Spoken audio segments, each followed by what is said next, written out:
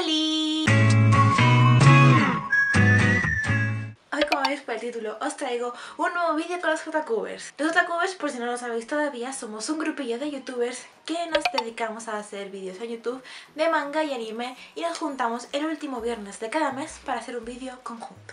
En esta ocasión os traemos un vídeo dedicado a los mangakas masculinos. Es que hace un tiempo hicimos un vídeo dedicado a mangakas femeninas que os lo voy a dejar en la i por si queréis ir a cotillear cuáles fueron mis opciones y esta vez le toca a los autores masculinos. Os recuerdo que en la cajita de información vais a tener todos los links de los otros otakubes para que vayáis a ver qué mangakas masculinos han elegido ellos. Y ahora empezamos con mi vídeo.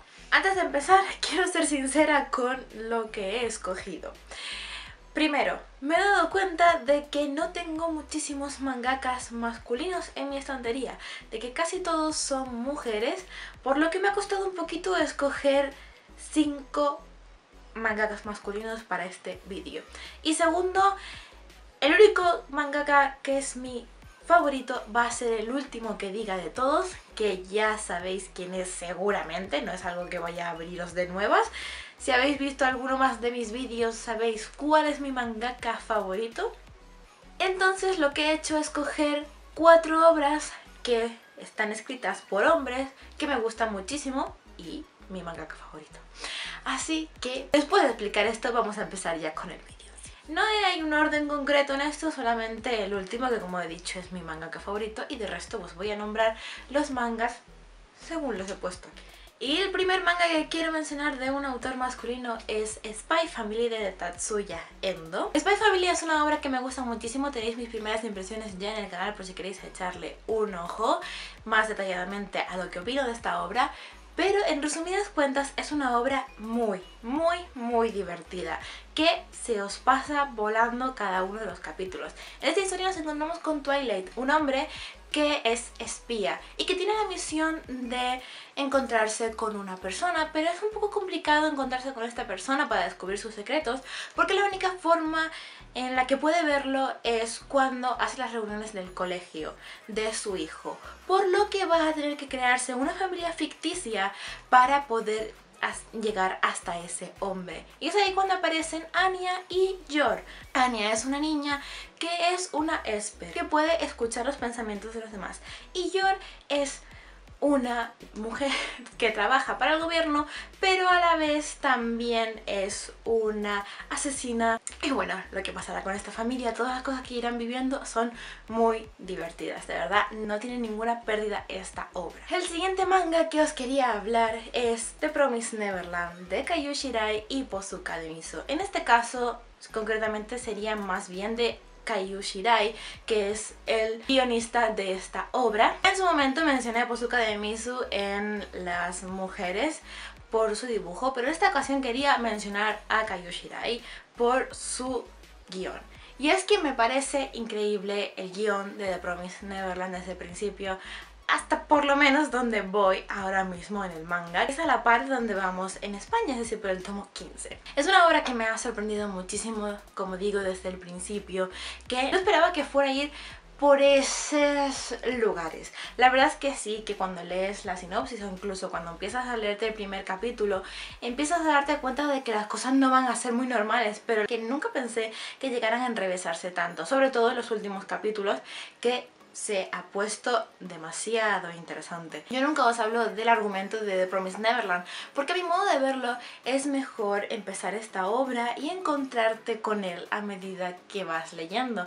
Aunque en el primer capítulo ya sabemos lo que está pasando. Pero vamos, que es muchísimo más interesante, como digo, leerlo o verlo en el anime que de repente que yo os cuente qué es lo que pasa en esta historia. Solo os digo que a mí me gusta un mogollón, que es muy entretenida, hay mucho misterio, es muy trepidante, hay muchísimos momentos de acción, también hay muchísimos momentos de tensión de qué va a pasar ahora con los personajes, los van a pillar, no los van a pillar, van a conseguir llegar a donde quieren, van a conseguir resolver todos los misterios que hay detrás de este mundo que han creado el autor o mm, no.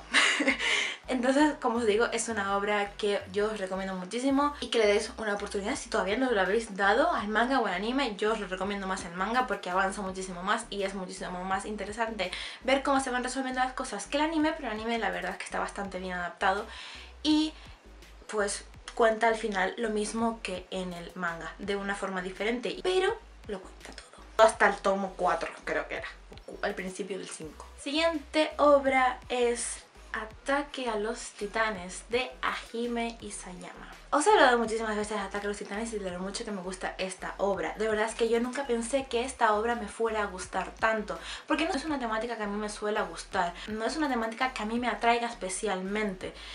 Es más, Incluso podría decirse que todo lo que, como comienza esta historia y demás, podría darme incluso miedo, porque yo soy una miedica. Pero la verdad es que estoy atrapada con esta historia yo necesito saber qué es lo que pasa. Y eso que comencé esta obra y por eso es que a día de hoy la llevo al día incluso con la publicación japonesa. Yo sé lo que está pasando actualmente en el manga de Ataque a los Titanes. Estoy ahí a las puertas de terminarlo porque os digo que ya solamente quedarán como cuatro capítulos para que se acabe esta historia. Y os digo, es alucinante, de verdad. Yo estoy súper sorprendida con esta obra. Hay algunos giros en esta trama que me han dejado muy loca. No sabía que esto podría pasar en esta historia. Y también os digo que no sé cómo va a terminar esta obra. Es una historia increíble que te engancha muy rápidamente y que no puedes parar de leerla hasta saber qué es lo que está pasando, por qué hay titanes en el mundo de los personajes, cómo surgen, qué quieren, cómo acaban con ellos. De verdad, todas esas preguntas, pues las que más te hacen en esta historia y la forma en que se resuelven son de verdad que te explota la mente perfectamente. Esta historia también tiene un anime que está bastante bien adaptado con lo que se cuenta en la historia. Personalmente a mí me gusta muchísimo el manga, cómo lo va contando el autor, cómo nos lo expresa. Y sí que es cierto que su dibujo no es una preciosidad, pero a mi modo de verlo está bastante bien con la historia que está contando y la verdad es que es bastante bueno me vais a decir lo contrario, yo lo sé, pero pararos a pensar un poco en la historia, en lo que está dibujando y cómo lo está dibujando para que veáis que no es precioso, no es perfecto, pero tampoco es malo. Sí que es cierto que el anime tiene un dibujo muchísimo mejor y que al final pues las escenas se ven mucho más claras y los momentos de acción son increíbles pero de verdad que yo os digo que los momentos de acción en el manga de Ataque a los Titanes son muy buenos, son muy bien llevados. La verdad es que las peleas que yo he encontrado en este manga son de las mejores que yo he leído en mangas de este estilo.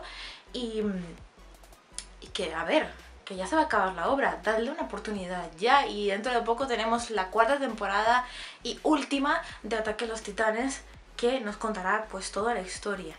Así que no os la perdáis tampoco, ¿eh? El último manga que voy a nombrar antes de hablaros de mi mangaka favorito es el manga de Aono Flag, de Kaito. Bueno, la verdad es que me estoy arriesgando un poco con esta obra porque no sé si Kaito es un hombre, pero por lo que he buscado tiene bastantes indicios de que lo es. Aono Flag es mi obra favorita en este momento, de verdad. Aono Flag ha conseguido desbancar a mi anterior obra favorita porque es que es maravilloso todo lo que cuenta, todo lo que pasa. Y tenéis una reseña en mi canal por si queréis ver más detalladamente lo que opino de esta obra, de esos ocho tomos publicados por Ibrea. Y de verdad que yo estoy encantada con esta obra. Me, me ultra encanta todo lo que pasa en esta historia. Ahora Flag nos cuenta la historia de Taichi, Futaba y Touma, tres personajes que se encuentran en la misma clase al comienzo del bachillerato. Taichi es el que más nos va a contar la historia, es el protagonista principal.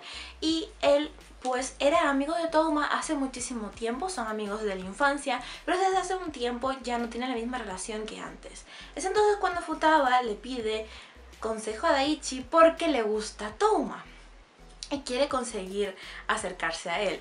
Entonces vamos a ver cómo comienza esta eh, extraña amistad entre los tres de con relaciones, triángulos amorosos y más. Pero esta historia no solamente nos cuenta eso, sino que nos cuenta muchísimos más. Se centra muchísimo en muchos temas que son muy importantes para la sociedad, como son el amor, el futuro, las relaciones, la sexualidad, y muchísimos otros temas. De verdad que yo os aconsejo muchísimo leeros esta obra, son ocho tomos solamente. Y creo que, es, que, que, casi debería ser de obligada lectura para todo el mundo, porque tiene unas enseñanzas increíbles y de verdad que no os va a parecer indiferente lo que sucede en esta historia.